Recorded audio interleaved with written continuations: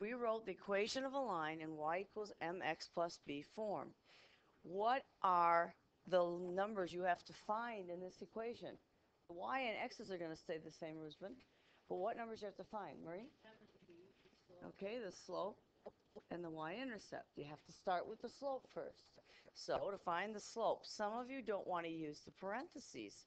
The problem is you get that minus sign confused with any of those negative signs there. So that's not a good thing. So if I get my parentheses there, that helps. It's y over x. That's another issue. This is, uh, no, this, I'm just reviewing this. So they can put on the front if they want. Because I'm going to show them another way to write the equation of a line, which you should like a lot better, and it's a lot easier. But we have to be able to do both. Okay, Jake? Kind of zoning out there. What do you want to put in for the first y? Paris, what do you want to put in for the first y? Good. What's the other y value then?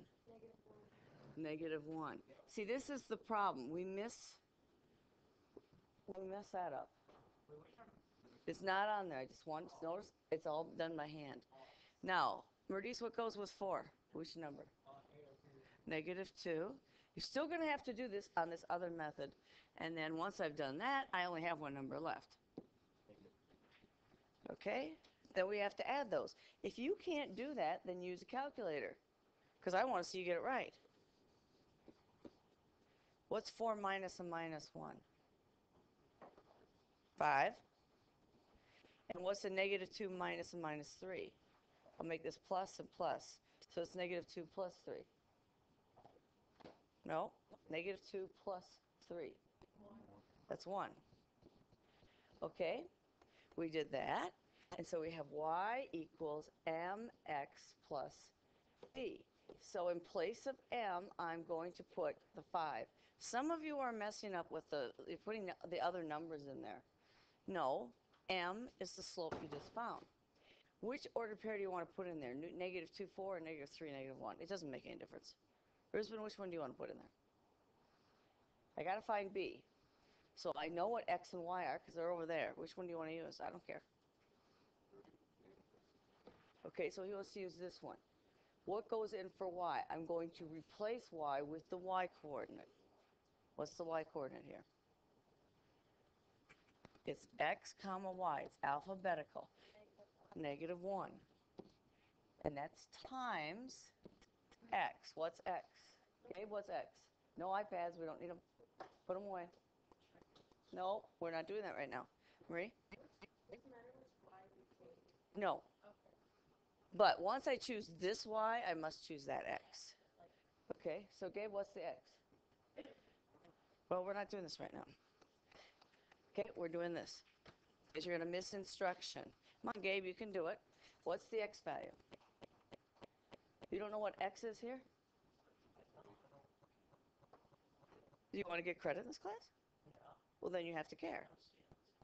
It won't last. No, it won't, because we have a whole quarter left, and you got to know x and y. We're going to do lot, nothing but graphing. So, Gabe, what's the x value? Negative 3. Very good. Plus b. These are standard linear equations. Okay, so you need to, and Elias, we're not doing that, we're doing this. Yes, you need to do it with me. I'll be collecting this packet. This problem should be there because it's right here, right now. Okay, Gabe, where's you need a pencil? You don't have that problem. You have to write it down. Uh huh. We're reviewing this. You don't just watch because you're not involved then. You got to be involved. So first we found the slope. Now I can I can check the slope. I can do this in my head with the top number and the bottom number. But I don't know if I'm going to get it right with the positive and the negative. It's not on there for the third time. This is something I've written on there. I said I'm going to review. Yeah, write it down. You got a piece of paper right there. Write it right on your paper. Because I want you to remember how hard this is. This is not so easy because there's a lot of steps. First, you have to find the slope. Then you have to write y equals mx plus b and replace y and the slope and the x. Now you have to solve for b, and we're still not done. This is negative 1 equals, what's 5 times negative 3? Negative 15 plus some number here. How do you solve for that? I want b all by itself. Add 15. And we have to be able to solve these equations like this in science class. I talked to your science teachers and they said, we really need to be able to have them solve something like this. I said, yeah, you're probably right. What's this going to give you? And use calculator if you don't know. 15 minus 1 is 4. 14 equals b. Am I done? No. This is a pain. I'm doing this on purpose so you realize how nice this other method is. So it's y equals mx plus b. I will put the slope in. So the slope was 5. Slope is always a number. It's times the x-coordinate plus 14. Remember, that's where the line crosses the y-axis. Mm-hmm. Almost it all there? Now we're going to do the packet. And it's not going to be that much different, really. Yep, well, we'll start it at least, and then we'll have you work on it. Okay, so this is what we've been doing. And we need to have a quiz on that. Put your phone away, Jacob, please.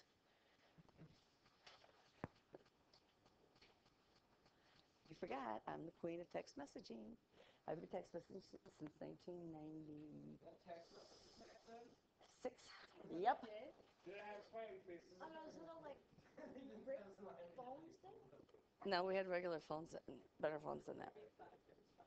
What's five times five? You just leave it. That's the equation for the line. That's the final answer. Okay? Okay, Rusbin? Rusbin, our goal is to write the equation of the line that goes through those two points. In quadratic algebra, we'll try to find the parabola that goes through those two points. Elias, need to put that away because we're going to do this. Okay, are we ready then? Must be ready. Okay. We're going to learn a new form, which is a nicer form. It's the form I use in calculus. It's called point slope, and I'm going to slide this a little bit. Well, actually, I'll, I'll do it down here maybe. This should be on the first page. Yes. Sure, I don't care. It's where you put it wherever you want. Okay, what is slope formula? M is equal to y1 minus y2 over x1 minus x2. Okay, how do you find the slope? Okay, Nick? Change in the y divided by the change in x. You know what I'm going to do? I'm going to make, I'm going to find the slope between this point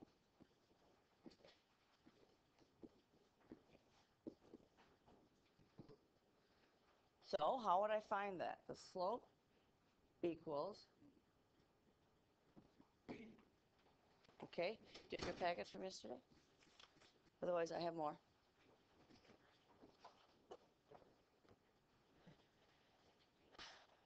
Okay, how would you find the slope here? M equals what? Y minus the 5. Let's just call that, let's not use the point yet. Okay, guys, you're not listening. Let's just call it x1 and y1. So we're going to take any point on the line, call it xy. This is a specific point. Let me write that. That is a specific point. We know where it is. Like in this problem. Well, we're going to do this problem. I have to introduce this. And it looks like that. It's going to have some values. Okay? So how do you find the slope? It's y minus this y value divided by x minus that x value. And that's called a proportion. And we did this a long time ago. We had proportions. We had 1 half equals x over 8. And we cross multiplied. Do you remember that? We're going to do the same thing. I know you're going to say there's a lot of letters there, but that's okay. Letters just represent numbers. That's all they are. That's all algebra is. It's arithmetic with letters. So we're going to go ahead and cross multiply these. We're going to multiply these together, and I'm going to get y minus y1 equals my slope times x minus x1. Once I get through this and we do a couple problems, you're going to say, oh, that's so much easier. And that's called point slope. My point is this x1 and this y1. That represents a point. Those are going to be numbers, and the slope is the same thing we did before, no different. And it's going to be much faster than doing y equals mx plus b. Okay, Michael? It's going to be so much faster. So, I have the point they gave me. Let me rewrite it down here because I can't see it at all. They gave me the point negative 1, comma 5, and they gave me the slope equals 2. I can change to y equals mx plus b form from this the easiest ways. That is what I'd like to do. So what is my y value in this ordered pair? Careful. It's alphabetical. 5. Equals, what's my slope here? 2 x minus, and then negative 1. I don't even care if you simplify that, to tell you the truth. That's it. That's the answer to the question. Where's your blue packet? Give it to you yesterday. I'll give you another one. That's the answer to the question. That was so much easier than y equals mx plus b. Can we change it to y equals mx plus b? Yes, we can. And even if you have fractions, this is so much easier.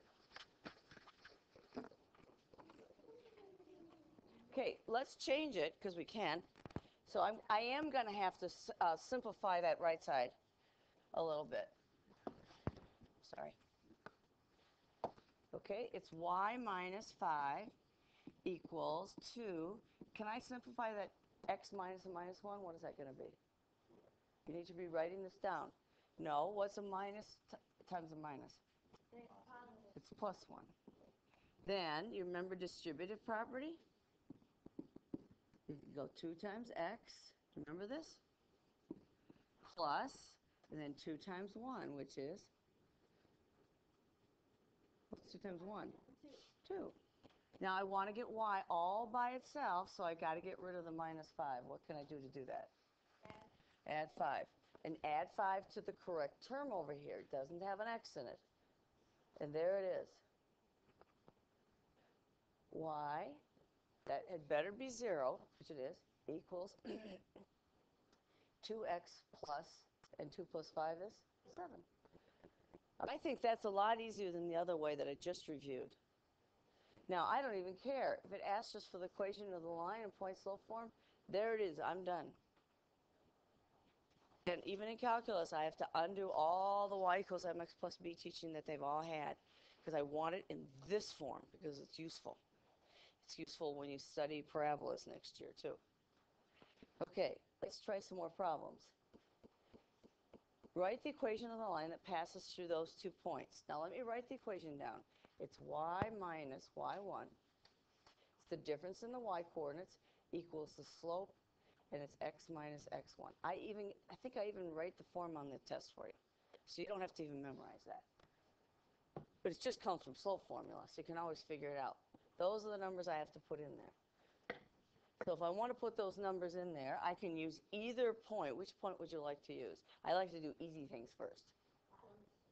Negative 1, 6, or do you want to use the 3, 5? three five. I'd rather use the 3, 5. Then I don't have to worry about minus signs. Which one is the y coordinate here? So it's y minus 5 equals the slope, which I don't know what that is, and then it's x minus what? We'll do we'll do both. What's x minus what? 3. You might have to move or I'll have to slide the board. Let's write the other form, because you know what? It's exactly the same thing. It's just using a different point. What's the other one? Gabe, what's the y value with this one? Because I'll take either answer, because there's two answers here. I want the y though. 6, good. Very good. X and minus, what's this going to be then? Michael? I use this y, I need to now use this x. What's the other x value? negative 1. And you can leave it like that. I'll give you full credit for that, except there's one thing we're missing. The part you don't like to do. What are we missing? We're missing the slope, aren't we? We're missing this number right here. Okay, how do we find the slope? Remember? y1 minus y2 over x1 minus x2. Like I said, I can do that in my head, but I don't know if I'm going to get a positive or negative correctly because the order matters.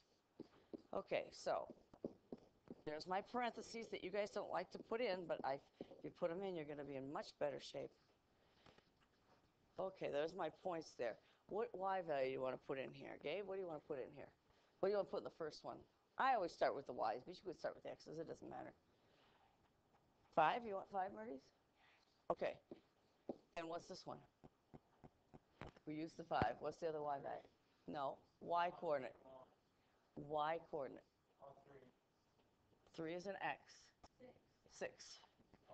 Some of you do have that problem. You get mixed up. So write x, y like I did. If that, I mean, I don't know what else to do to help you.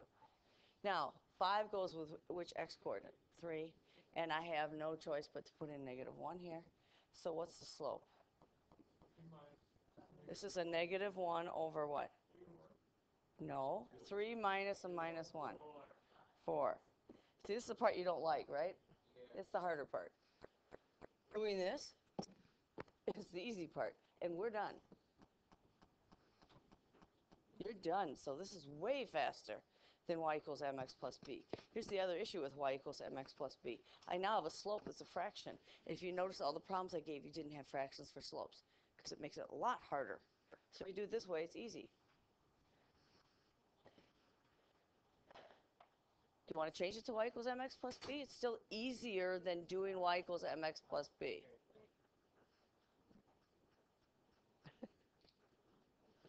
That's all there is. You just have to put the point in, the x, and the y, and find the slope. That's it.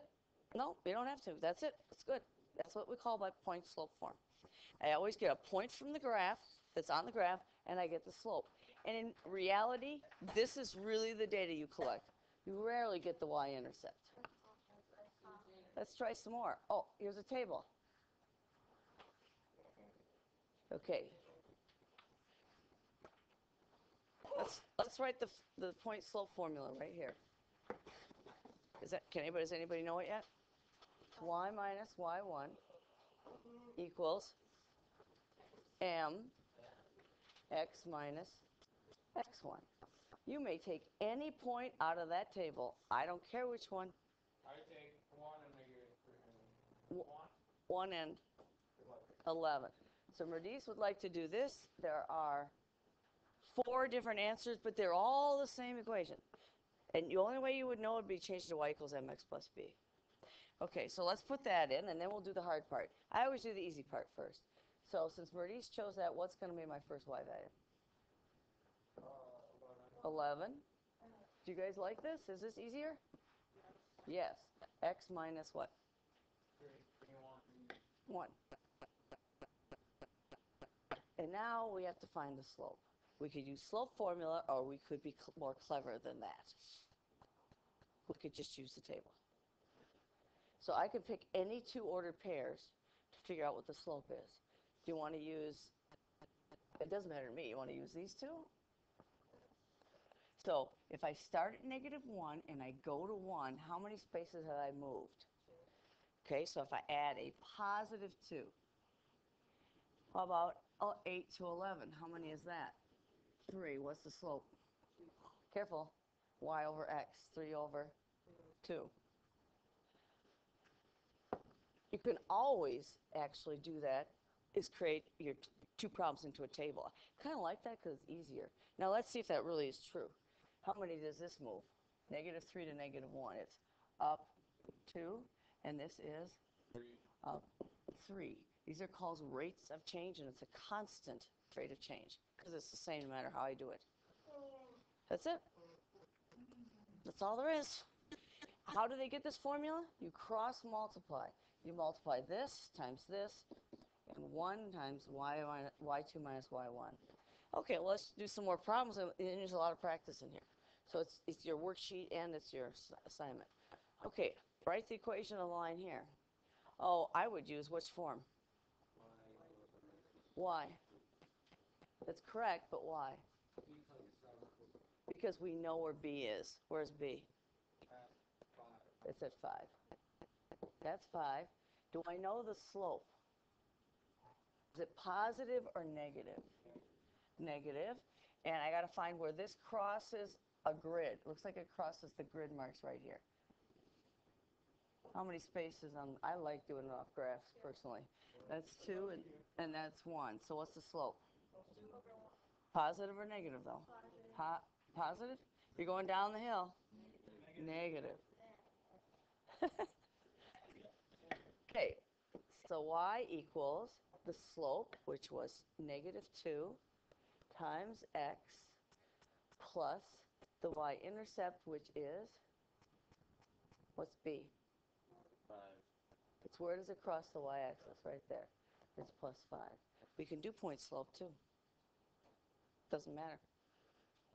You could take this ordered pair. What's the name of this ordered pair right here? Where is that? The x is what? 1. And the y is? No, I'm up one more. 3. Okay, so all I have to do is this. y minus the y value. What's the y value here of this ordered pair? 3 equals my slope, negative 2, x minus the y, uh, x coordinate, which is 1. You can do it either way. This was nice because we knew where the y-intercept was. But in most cases in your science classes, you don't know where that is. You don't always know. So that made that easy. Your choice, by the way.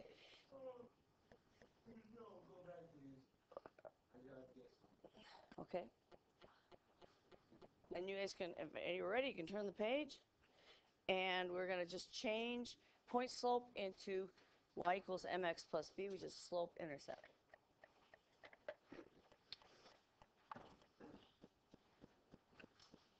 Are we ready now? Thank you. Okay, I'm just going to rewrite it because for me that's hard to see. It's y minus 3 equals negative 5 x plus 1. And the question is slope intercept. That What they mean by that is I want y equals mx plus b. So first thing I'm going to do is distribute that negative 5. Because I can't think of anything else to do. So when you distribute this, what do you get? Negative what? 5 times x.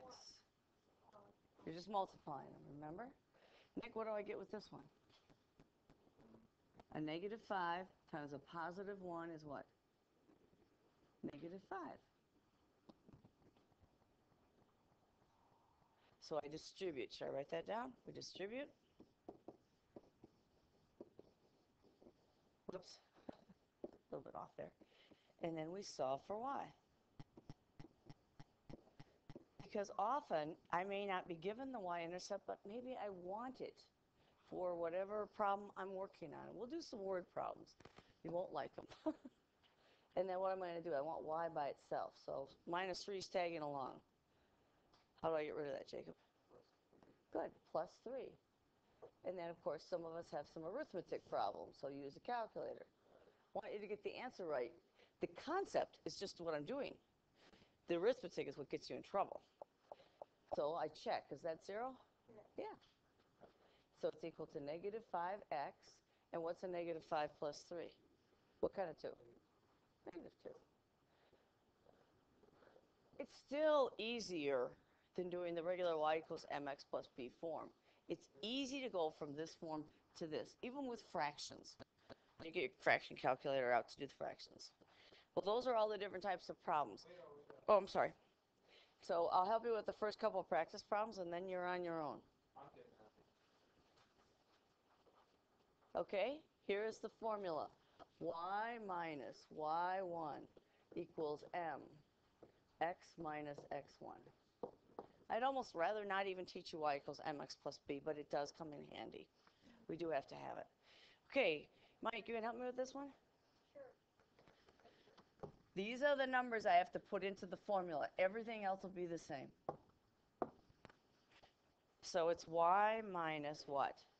What's the y value? Negative 3 equals, and now I got to put the slope in. What's the slope? 2. And then it's x minus the x value. Negative 1, that's right. It's nice to clean that up, because what's this really going to be? But you, I'm not going to make you do it. That's it. You're done. So that's all. That's all you have to do. I know, it's too easy, isn't it? But can you fix it? Can you clean it up a little bit? Sure, what's a minus a minus 3? Plus 3, because we need a little practice with that. And then this is x plus 1. No, we're not going to distribute. I just want to get rid of those double negatives. Okay, let's do one more. Maybe somebody wants to come up and do it. y plus 3 equals 2x plus 1. You could change it to y equals mx plus b. Didn't ask you to do that. If they ask you to do that, you'll have to do it. Anybody want to come up and do the next one? Guys all tired?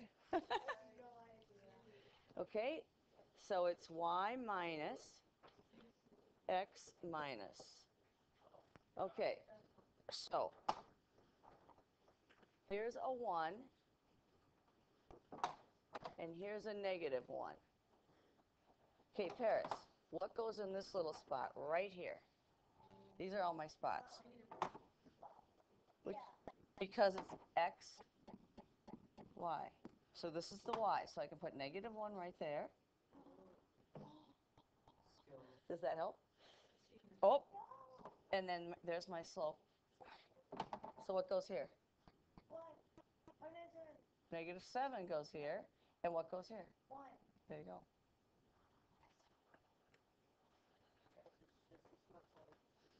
Yeah, it's just a smart board. Okay, do you think you have it? You can try some on your own now? Yeah, you got plenty of space on the paper. Not an issue. We, should do this all together. No, you can do it. Someone else can come up and do it. Sure. No, I, I, I didn't know if they had those there too.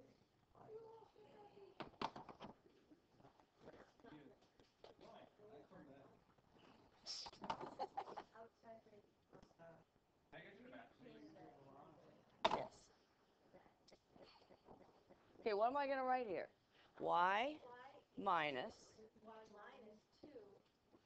equals m and an x minus. Okay, so what's the y value? Negative two. You can say that. What's m?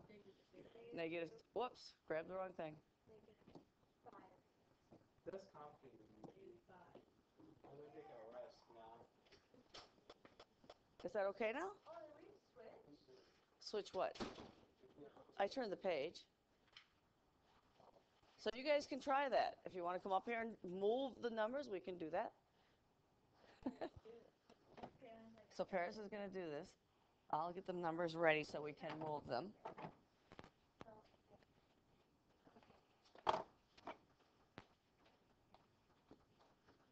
Okay, so you start out with a formula for the next problem, y minus y1. here. Yeah, that's, yeah, you gotta write it.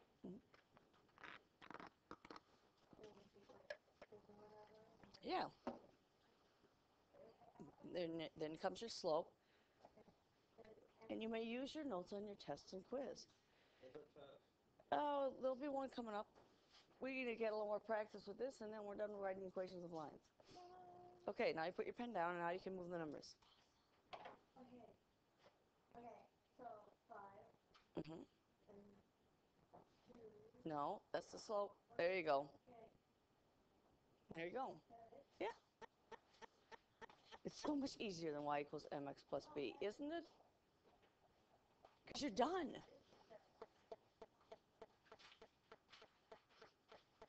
So go ahead and work. I'm going to pause this. If we need to see some more, we will. But the only thing that you're going to have to do that makes this hard is you